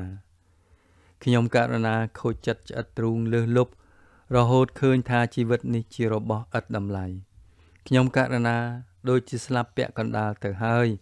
នៅសល់តែរាងកាយនិងដង្ហើមចេញចូលតែប៉ុណ្ណោះ អោកុលធីតាហើយហេតុដែលនាងខូចចិត្តច្រើននោះក៏ព្រោះនាងមិនយល់ធម៌អនិច្ចំទើបសម្លឹងមើលឃើញរបស់ផ្សេងផ្សេងក្នុងផ្នែកល្អតែម្យ៉ាង ប្រគល់សេចក្តីទុកចិត្តសេចក្តីស្រឡាញ់សេចក្តីសង្ឃឹមទុក នៅក្នុងរបស់ណាមួយ ឬបុគ្គលណាម្នាក់កាលរបស់នោះឬបុគ្គលនោះសំដែងសេចក្តីមិនទៀងចេញមកតាមកាលវេលារបស់វា នាងក៏ខំអំណងខូចចិត្តកើតទុក ងុំសណ្ដំអរាដូចជាវេលានេះសន្មត់ថានាងមានប្រាក់100កហបណៈហើយយកទៅផ្ញើនឹងមិត្តប្រុស25កហបណៈនិងប្អូន25កហបណៈជាមួយនឹងមិត្តស្រី25កហបណៈនិងបង25កហបណៈបើសិនជាមិត្តប្រុសវាចវេយកប្រាក់របស់នាង នាងក៏អស់ត្រឹមតែ25កហបណៈ75កហបណៈទៀតដែលនៅសល់ បើឧបមាថាមិត្តស្រីបោកយកទៅទៀត25កហបណៈនាងក៏នៅសល់50កហបណៈដែរបើបងប្រុសបោកយកទៅទៀត25កហបណៈនាងក៏នៅសល់នឹងប្អូន25កហបណៈតែកាលប្អូនស្រីយកទៅទៀតនោះទើបនាងសូនអស់ទ្រព្យរលីងតែការដែលមនុស្សទាំង4នាក់ធ្វើការបោកបញ្ឆោតយកប្រាក់ទៅព្រមគ្នានោះ ជារឿងដែលមិនអាចប្រព្រឹត្តទៅបានទេ ការផ្ញើប្រាក់បែបនេះជាវិធីឆ្លាតបើនាងយកប្រាក់ទាំង100កហបណៈទៅផ្ញើតែនឹងមនុស្សម្នាក់បើគេវាចវេយកបាត់ទៅ នាងក៏ត្រូវខូចខាតប្រាក់ទាំង100កហបណៈព្រមគ្នាតែម្ដង ជាការខូចខាតដែលគួរឲ្យស្ដាយជាវិធីការដែលមិនឆ្លាតឡើយមនាលកុលធីតាទឹកចិត្តរបស់នាងក៏ដូចគ្នាដែរបើនាងយកទឹកចិត្តទាំងមូលប្រគល់ទៅឲ្យនរណាម្នាក់ បើគេមិនស្មោះត្រង់ចំពោះនាង នាងក៏ខូចចិត្តទាំងមូលអស់សេចក្តីសុខអស់សេចក្តីសង្ឃឹមរស់នៅ ដូចជាមនុស្សគ្មានចិត្តដូចជារូបនាងនេះឯងនាងគួរតែបែងចិត្តជាផ្នែកជាផ្នែកដូចជាបែងប្រាក់មួយចំណែកប្រគល់ទៅឲ្យគូស្នេហា មួយចំណែកប្រគល់ឲ្យមេដាបៃតាមួយចំណែកប្រគល់ឲ្យបងប្អូន មួយចំណែកប្រគល់ឲ្យមិត្តភ័ក្តិមួយចំណែកប្រគល់ឲ្យពួកញាតិ មួយចំណែកប្រគល់ឲ្យគ្រូអាចារ្យជាដើមសំដៅសេចក្តីថាឲ្យស្រឡាញ់គេបន្តិចបន្តិចទៅសិនបើគូស្រឡាញ់កើតទុរយោចំពោះយើង យើងក៏កើតទុកខូចចិត្តតិចតែលុះជឿពិតឃើញពិតថាគេស្មោះត្រង់ចំពោះយើងមែនហើយសឹមស្រឡាញ់គេដោយទឹកចិត្តទាំងមូលនាងក្រមុំក៏ឆ្លើយកាត់ថាលោកម្ចាស់និយាយដូចជាទឹកចិត្តរបស់មនុស្សជាវត្ថុ ដែលនឹងបែងចែកចាយបានងាយងាយយ៉ាងនោះឬសេចក្តីពិតមិនអាចធ្វើបានទេលោកម្ចាស់មនុស្សយើងកាលបើស្រឡាញ់នរណាហើយ វាលំបាកនឹងហាម5ទប់ចិត្តមិនឲ្យស្រឡាញ់ច្រើនបានបើយើងស្រឡាញ់គេតែបន្តិចបន្តួចគេក៏មិនពេញចិត្តនឹងយើងបើថាយើងមិនស្រឡាញ់គេពិតហើយសេចក្តីស្រឡាញ់នឹងរីករាយបានយ៉ាងណាស្រីក៏មុំឲ្យហេតុផលជំទាស់ដែលមានមុខមាត់ស្រស់បោះច្រើន កលធីតាអាត្មានឹងលើកតួយ៉ាងឲ្យស្ដាប់ឧបមាថាមានចៅម្នាក់ចូលមកអាស្រ័យនៅក្នុងផ្ទះរបស់នាង ដែលមានចេតនាអាក្រក់ចំពោះនាង នាងក៏ដឹងច្បាស់ថាគេជាចៅនឹងមានចេតនាអាក្រក់ចំពោះនាង តែព្រោះអាស្រ័យដែលចៅនោះព្យាយាមធ្វើសេចក្តីល្អគ្រប់យ៉ាង ដើម្បីឲ្យនាងស្រឡាញ់ដោយសង្ឃឹមថាកាលនាងស្រឡាញ់គេច្រើន ហើយគេនឹងជាឱកាសឲ្យគេប្រទុះសារាយនាងបានយ៉ាងងាយក្រៃលែងតមកនាងក៏កើតសេចក្តីពេញចិត្តចំពោះគេព្រោះសេចក្តីល្អរបស់គេ តែក្នុងវេលាជាមួយគ្នាក៏នឹកក្រែងរឯងគេ ថាយ៉ាងនេះឬយ៉ាងនោះ កាលបើយ៉ាងនេះនាងរមែងស្រឡាញ់គេត្រឹមតែបន្តិចបន្តួចប៉ុណ្ណោះមិនអាចនឹងស្រឡាញ់គេយ៉ាងបំផុតចិត្តបាន ព្រោះនៅមិនទាន់ទំនុកចិត្តគេ យ៉ាងនេះមែនឬទេពិតមែនហើយប្រគុណម្ចាស់ ហេតុយ៉ាងដូចម្ដេចទើបមិនស្រឡាញ់គេឲ្យអស់ពីពោះពីពងក៏ព្រោះខ្ញុំប្រកាសរណា ដឹងច្បាស់ថាគេមានចេតនាអាក្រក់ចំពោះខ្ញុំករណា ការធ្វើល្អរបស់គេ ត្រឹមតែជាការក្លែងធ្វើ ដើម្បីបោកបញ្ឆោតឲ្យខ្ញុំម្ចាស់ស្លាប់ចិត្តបើកឱកាសឲ្យគេប្រទុសរាយខ្ញុំករណាបានយ៉ាងងាយបំផុតតែប៉ុណ្ណោះខ្ញុំករណាអាចនឹងនឹកពេញចិត្តចំពោះគេខ្លះក្នុងប្រការដែលគេធ្វើល្អ តែមិនអាចនឹងស្រឡាញ់គេឲ្យដល់ទីបំផុតចិត្តទេព្រោះនៅសង្ស័យរឯងក្រែងប្រចាំចិត្តកលធីតានេះក៏បង្ហាញឲ្យឃើញថាទឹកចិត្តជារបស់អាចបែងចែកបាន យើងអាចនឹងស្រឡាញ់នរណាតិចក៏បាន ច្រើនក៏បាន បើយើងសម្លឹងមនុស្សដែលយើងស្រឡាញ់ក្នុងគុណសម្បត្តិនិងគុណវិបត្តិយើងនឹងស្រឡាញ់គេត្រឹមតែបន្តិចបន្តួចស្រឡាញ់គេព្រោះឃើញក្នុងគុណសម្បត្តិរបស់គេ និងរឯងក្រែងគេព្រោះសម្លឹងគេក្នុងគុណវិបត្តិទោះបីគេមិនសម្ដែងគុណវិបត្តិមកឲ្យឃើញក៏ដោយ អ្នកល្អិតល្អន់ក៏ត្រូវតែសម្លឹងគេក្នុងផ្លូវគុណវិបត្តិទុកដែរកាលសម្ដែងក្រឡាសាររបស់គេចេញមក យើងក៏មិនខូចចិត្តឥតរំភើបអ្វីព្រោះជាបញ្ហា ដែលយើងបានគិតអានស្មានទុករួចមកហើយបើយើងសម្លឹងគេនៅក្នុងភ្នែកល្អតែម្យ៉ាង យើងនឹងភ្លើតភ្លើនស្រឡាញ់គេយ៉ាងអស់ពីពោះពីពង កាលគេសម្ដែងបញ្ចេញភ្នែកអាក្រក់មកទើបនាំឲ្យខូចចិត្តច្រើនពុំបានគិតឡើយថាគេនឹងមិនពេញចិត្តយើងព្រោះយើងមិនស្រឡាញ់គេ យើងស្រឡាញ់គេពិតពិតតែថាស្រឡាញ់តិចទៅខ្លះទាំងនេះក៏ដើម្បីសេចក្តីរួចភ័យរបស់យើង។កាលណាគេអាចពិសោធន៍ឲ្យឃើញបានដោយការប្រព្រឹត្តថាស្មោះត្រង់ចំពោះយើងពិតពិតយើងក៏ព្រមស្រឡាញ់គេយ៉ាងពេញចិត្តប្រគល់ចិត្តទាំងអស់ទៅឲ្យ លោកអ្នកអានលោកអ្នកស្ដាប់ជាទីមេត្រី កាលនិយាយមកដល់ត្រង់នេះនាងក្រមុំក៏ផ្ដើមសម្លឹងមើលមុខអាត្មា ដោយដួងភ្នែកសម្ដែងសេចក្តីទុកចិត្តនិងសេចក្តីគោរពរាប់អានច្រើនឡើងនាងនិយាយដោយសំឡេងច្បាស់លាស់ថាត្រូវណាស់ត្រូវណាស់ព្រះអជគុណខ្ញុំប្រកាសណាបានភ្លើតភ្លើនទុកចិត្តគូស្រឡាញ់ណាស់ពេកទៅទើបបានប្រគល់ជីវិតចិត្តទាំងអស់ទៅឲ្យគេ កាលគេក្បត់ទៅរៀបការនឹងស្ត្រីដតីបានជានាំឲ្យខូចចិត្តកើតទុកធំមនាលកលធីតាការភ្លៀងភ្លាត់ខុសបំណងរបស់នាងក្នុងគ្រានេះ ជាមេរៀនដ៏មានតម្លៃព្រានប្រដៅឲ្យនាងសម្លឹងមើលលោកទាំងពីរផ្លូវអាត្មាក៏ព្រៀនប្រដៅតទៅទៀតគ្រប់យ៉ាងគ្រប់ប្រការរមែងមានពីរផ្លូវជានិច្ចមានងងឹតមានភ្លឺមានត្រជាក់ ត្រូវមានក្តៅមានខ្ពស់ត្រូវមានទាបមានល្អត្រូវមានអាក្រក់មានសុខត្រូវមានទុក្ខមានឈ្នះត្រូវមានចាញ់មានសំបំណងមានខុសបំណងយើងត្រូវសម្លឹងឲ្យឃើញទាំងពីរផ្នែក បើមើលតែផ្នែកល្អតែម្យ៉ាងមិនប្រុងប្រៀបខ្លួនទុកទទួលផ្នែកអាក្រក់ផងទេ កាលជួបប្រទះប៉ះទង្គិចក៏លិចលង់នៅក្នុងទុក បើសម្លឹងមើលតែមួយចំណែកមិនត្រៀមខ្លួនទទួលផ្នែកល្អ ក៏មិនរួចខ្លួនទៀតអ្នកដែលលេងកីឡាត្រូវត្រៀមខ្លួនទទួលចាញ់និងឈ្នះអ្នកដែលប្រឡងប្រណាំងប្រជែងត្រូវប្រុងប្រៀបទទួលការជាប់និងការធ្លាក់អ្នកដែលប្រាថ្នាអ្វីត្រូវប្រុងប្រៀបទទួលទាំងការសំបំណងនិងខុសបំណងអ្នកមើលឃើញលោកទាំងពីរផ្លូវប្រុងប្រៀបរៀបខ្លួនគ្រប់កាលរមែងញញឹមជានិច្ចទាំងគ្រាចាញ់និងឈ្នះទាំងគ្រាខុសបំណងនិងសំបំណង ទាំងគ្រាសុខនិងទុក្ខមានចិត្តរឹងប៉ឹងមាំមួនរមែងបានប្រៀបគ្រប់កាលនិងគ្រប់ទីកន្លែងមនាលកលធីតាព្រោះនាងសម្លឹងមើលលោកក្នុងផ្នែកល្អតែម្យ៉ាងទើបត្រូវជួបប្រទះមហន្តទុក្ខក្នុងគ្រានេះតទៅ នាងគួរសម្លឹងមើលលោកក្នុងផ្នែកទាំងពីរជានិច្ចគ្រានេះនាងបានដួលទៅហើយ ភ្លាត់ទៅហើយ ចូលប្រញាប់ក្រោកឡើង ហើយដើរតទៅទៀត កាលឃើញថាខ្លួនដួលហើយ ទៅជាដេកប្រងើយមិនក្រោកឡើង នោះមិនមែនជាអំពើឆ្លាតទេឥឡូវនេះហេតុផល បានវិលត្រឡប់មកកាន់ស្រីក្រមុំបានយ៉ាងបរិបូរណ៍នាងក្រាបសំពះទៀបបាតជើងអាត្មា ដោយសេចក្តីជ្រះថ្លា ដោយសទ្ធា ហើយក៏ពោលថាព្រះដៃជគុណដ៏រុងរឿងដោយបញ្ញា ពាក្យដឹកនាំរបស់ព្រះដៃជគុណម្ចាស់ចាប់ចិត្តច្បាស់លាស់ចំពោះខ្ញុំករណាជាពុនពេក ដូចជាឱសថវិសេសជប់ជីវិតរបស់ខ្ញុំករណាឲ្យរស់រានមានជីវិតឡើងវិញ បើគ្មានព្រះគុណម្ចាស់ខ្ញុំករណានឹងស្លាប់ជាខ្មោចក្នុងជ្រោះភ្នំនេះទៅហើយតាំងពីពេលនេះតទៅខ្ញុំករណានឹងមិនគិតធ្វើល្ងងល្ងងដូច្នេះទៀតទេនឹងកំណត់កត់ចាំពាក្យណែនាំរបស់ព្រះគុណទុកនាំទៅព្រានប្រណៅអ្នកដែលគិតសម្លាប់ខ្លួន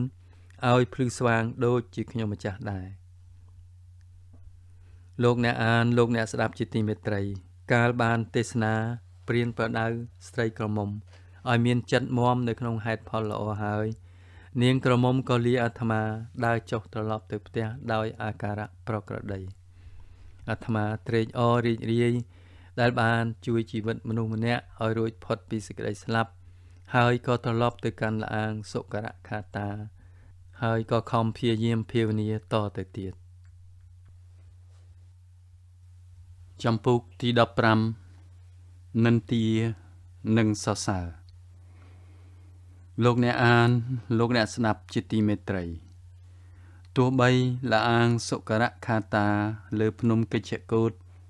ជាទីត្រូវអាស្រ័យរបស់អាត្មាត្រឹមណាក៏អាត្មាមិនអាចនៅប្រចាំជានិច្ចបាន ព្រោះការតាក់ទងនិងការបរិហារគ្រប់គ្រងពួកគណៈធ្វើឲ្យអាត្មាវិលត្រឡប់ទៅកាន់ព្រះវេលវ័នវិញ ការបានទៅកណ្ដាលពួកគណៈដែលបាននៅរួមគ្នាដោយធម៌ស្រឡាញ់មូលមិត្តគ្នាដោយល្អ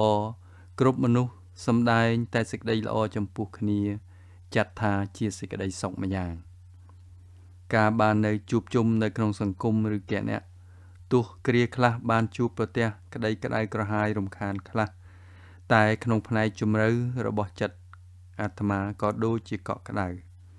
ការនៅតែម្នាក់ឯងតាមព្រៃភ្នំក្រំថ្មទោះបីស្ងៀមស្ងាត់ល្អជួនកាលក៏ធ្វើឲ្យកើតសេចក្តីស្រងេះស្រងោចសោកសៅក្រៀមក្រំចិត្តយ៉ាងច្រើន ធ្វើឲ្យឃើញសេចក្តីសំខាន់របស់គណៈសង្គមឡើងភ្លាម សង្គមឬពួកគណៈរមែងតែងមានអធិពលលើចិត្តរបស់បុគ្គលជាច្រើនយ៉ាង យើងបានប្រយោជន៍ច្រើនយ៉ាងពីការនៅរួមពួកគណៈគឺការកើតហេតុចាំបាច់ឡើងពួកគណៈ រមែងជួយសង្គ្រោះយើងបានទ្របរបស់យើងយស័ករបស់យើងអាចមានតម្លៃហុចគុណប្រយោជន៍ដល់យើងបានពេញលេញក៏ព្រោះពួកគណៈឬសង្គមរ៉ាប់រង បើសង្គមមិនរ៉ាប់រងទ្របនឹងយនោះក៏គ្មានតម្លៃព្រះរាជាដែលមានព្រះកិត្តិយសខ្ពស់បំផុតនោះ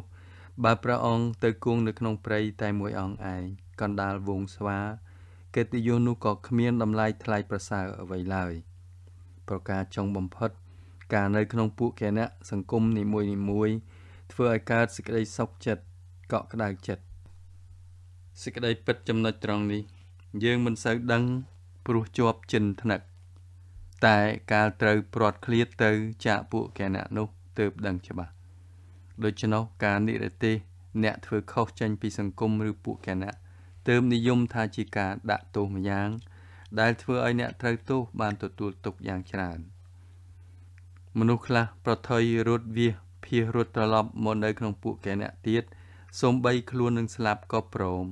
សូមឲ្យបានស្លាប់កណ្ដាលពួកគេអ្នកក៏នៅល្អប្រសើរជាងស្លាប់តែម្នាក់ឯងលោកអ្នកអានលោកអ្នកស្ដាប់កាលបើយើងបានទទួលប្រយោជន៍ច្រើនប្រការពីការនៅរួមសង្គមដូចនេះ ពួកគេអ្នកក៏ឈ្មោះថា មានបុណ្យគុណចំពោះយើងយ៉ាងខ្ពស់អ្នកណាស្រឡាញ់ពួកគេអ្នកឃើញដល់ពួកគេអ្នកមានចិត្តទូលំទូលាយធ្វើប្រយោជន៍ដល់ពួកគេអ្នកអ្នកនោះឈ្មោះថាដឹងគុណរបស់ពួកគេអ្នកផ្ទុយទៅវិញអ្នកណានៅក្នុងពួកគេអ្នកដែលបានទទួលផលប្រយោជន៍ដូចពោលហើយពីពួកគេអ្នកតែឃើញតែប្រយោជន៍ផ្ទាល់ខ្លួន មានចិត្តចង្អៀតចង្អល់ កើបកោយកាវក្រសើក្រសោបយកផលប្រយោជន៍ឲ្យដល់ខ្លួន មិនបាននឹកដល់ទ្រូងអ្នកដតីបង្កើតសេចក្តីក្តៅក្រហាយរំខានឲ្យដល់ពួកគេអ្នកជានិច្ចអ្នកនោះឈ្មោះថាជាអ្នកនេរគុណចំពោះពួកគេអ្នកជាអ្នកជំទាស់សេចក្តីចម្រើនរបស់ពួកគេអ្នកជាបញ្ញើក្អែកដែលចាំតែបឺតស្រូបស៊ីឈាមអង្គៀមឆ្អឹងរបស់ពួកគេអ្នកលោកអ្នកអានលោកអ្នកស្ដាប់ អាត្មាបានខំណែនាំព្រានប្រដៅព្រះភិក្ខុសាមណេរនិងភិក្ខុនីដែលនៅក្នុងការគ្រប់គ្រងរបស់អាត្មាឲ្យឃើញសេចក្តីសំខាន់របស់ពួកគេណាគ្រប់គ្នាក៏តាំងនៅក្នុងអាវាតរបស់អាត្មាបានយ៉ាងល្អតែ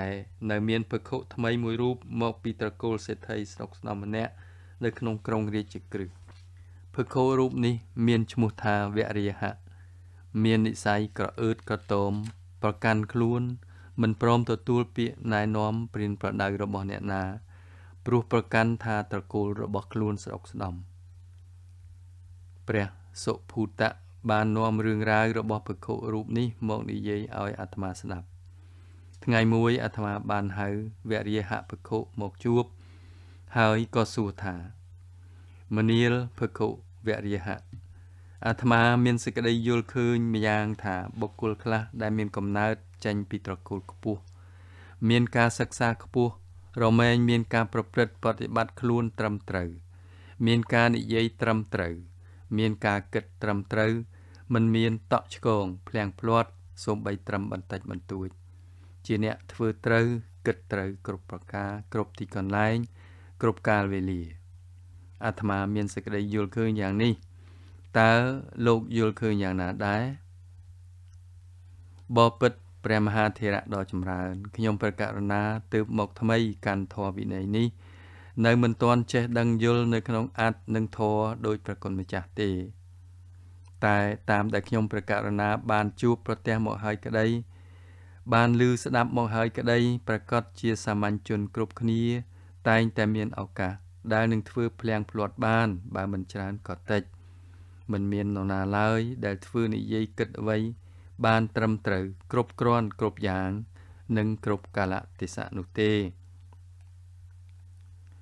សំដៅសេចក្តីថាសាមញ្ញជនគ្រប់គ្នារមែងមានការខុសឆ្គងភ្លៀងភ្លាត់ប្រចាំខ្លួនជានិច្ចបើមិនច្រើនក៏តិចមែនឬទេអាត្មាសួរផ្ទួនថែមទៀតត្រូវហើយទៀនប្រោសវរិយហភិក្ខុឆ្លើយយ៉ាងប្រកបនៅក្នុងចិត្ត អោបើយ៉ាងនោះភិក្ខុក្តីអាត្មាក្តីក្នុងឋានៈជាសាមញ្ញជនក៏រមែងមានការខុសឆ្គងភ្លៀងភ្លាត់ប្រចាំខ្លួនជានិច្ចដូចគ្នាដែរមែនទេករណាមែនហើយខ្ញុំករណាក៏អាចមានការភ្លៀងភ្លាត់ខុសឆ្គងដូចគ្នានឹងអ្នកដទៃភិក្ខុវរិយហៈព្រមទទួលយ៉ាងច្បាស់លាស់កាលឃើញថាបានដេញដោលលោកមកដល់ជ្រុងដ៏សំទំនងហើយ អាត្មាក៏ផ្ដើមលែងអាវុធរបស់អាត្មាភ្លាមមនាលវរិយហៈកាលមាននរណានរណាពោលថាដាស់តឿនក្រើនរំលឹកលោកបញ្ជាក់ចង្អុលប្រាប់ការខុសឆ្គងភ្លៀងភ្លាត់របស់លោកដោយមានបំណងល្អដើម្បីលោកនឹងបានកែខៃលៃលោកប្រព្រឹត្តខ្លួនឲ្យល្អឡើងហេតុអ្វីក៏លោកខឹងនឹងគេទៅវិញបកុកំឡោះអង្គុយស្ងៀមមួយសន្ទុះហើយក៏ពោលឡើងដោយទិដ្ឋិមានះថា តាមពិតខ្ញុំប្រកាសណាក៏មិនបានធ្វើខុសអ្វី តែភិក្ខុអ្នកបួសចាស់ចេះតែចាប់ទោសអូសដំណើរឲ្យកំហុសខ្ញុំប្រកាសណាទាល់តែបាន គឺជាមនុស្សចូលចិត្តតេះដៀលអ្នកដតីណាស់ពេកទៅមនាលវរិយហៈមនុស្សយើងរមែងមើលមិនឃើញ រាងកាយរបស់ខ្លួនបានគ្រប់ចំណែកទេសំបីឈរឡើងហើយអោនមើល ក៏ឃើញតែផ្នែកមុខប៉ុណ្ណោះផ្នែកខាងក្រោយមើលមិនឃើញទេ ក្នុងផ្នែកនៃការប្រព្រឹត្តក៏ដូចគ្នា យើងច្រើនមើលឃើញផ្នែកល្អរបស់យើងផ្នែកអាក្រក់មើលមិនសូវឃើញ ហើយក៏យល់ថាខ្លួនល្អហើយ ត្រឹមត្រូវហើយសមរម្យហើយលុះមានអ្នកដតីមកមើលយើងឃើញការឆ្គាំឆ្គងភ្លៀងភ្លាត់របស់យើង គេចង្អុលបង្ហាញយើងឲ្យយើងមើល យើងមិនពេញចិត្តព្រោះសេចក្តីប្រកាន់ខ្លួន អ្នកដតីសម្លឹងមើលឃើញខ្លួនយើងបានច្បាស់លាស់ជាងខ្លួនយើងយ៉ាងណា គេក៏ឃើញសេចក្តីប្រព្រឹត្តរបស់យើង បានល្អជាងយើងយ៉ាងនោះដែរការលោកព្រមទទួលថាខ្លួននៅមានខុសតក់ឆ្គងភ្លៀងភ្លាត់កាលអ្នកដតីចង្អុលបង្ហាញឲ្យឃើញយើងនៅការខុសឆ្គងក៏មិនគួរខឹងនឹងគេទេផ្ទុយទៅវិញគួរសម្ដែងសេចក្តីអរគុណគេថែមទៀតព្រោះកាលយើងឃើញកំហុសដឹងព្រាំងព្រាត់របស់យើងហើយ នឹងបានកែប្រែរៀបចំខ្លួនយើងឲ្យបានល្អឡើងវិញមនាលវរិយហៈឧបមាថាមានបុរសម្នាក់មានរបស់ស្មោកគ្រោកប្រឡាក់មុខតែខ្លួនឯងមើលមិនឃើញសម្គាល់ថាមុខរបស់ខ្លួនស្អាតផូរផង់ល្អហើយទើបដើរទៅតាមផ្លូវខណៈនោះមានបុរសម្នាក់ដើរមកជួបឃើញស្នាមប្រឡាក់នៅនឹងមុខរបស់បុរសទី1ទើបចង្អុលប្រាប់ឲ្យដឹង និងណែនាំឲ្យគេទៅលាងចោលចេញតែបុរសមុខប្រឡាក់បែរជាខឹងថាគេមើលងាយខ្លួន មិនយកចិត្តទុកដាក់នឹងស្នាមប្រឡាក់របស់ខ្លួនដើរអួតមុខប្រឡាក់របស់គេតទៅវិញតើលោកឃើញថាបុរសនេះធ្វើខុសឬក៏ធ្វើត្រូវគេធ្វើខុសយ៉ាងពិតប្រាកដប្រគុណម្ចាស់ផ្លូវដែលត្រូវតើគេគួរធ្វើយ៉ាងណា គេគួរពិនិត្យមើលខ្លួនឯងជាមុនសិន បើឃើញស្នាមប្រឡាក់ពិតប្រាកដតាមដែលអ្នកដតីប្រាប់ក៏គួរអរគុណគេ ហើយក៏ប្រញាប់ទៅលាងរបស់ស្មោកគ្រោកនោះចេញ ខ្លួននឹងបានមុខស្អាតបាតដូចដើមមនាលវរិយហៈពាក្យប្រាប់ប្រងរបស់អ្នកដតីធ្វើឲ្យមុខរបស់បុរសនោះស្អាតបានយ៉ាងណា ពាក្យតេះដៀលរបស់អ្នកដតីក៏អាចធ្វើឲ្យយើងធ្វើឲ្យល្អបានយ៉ាងនោះដែរ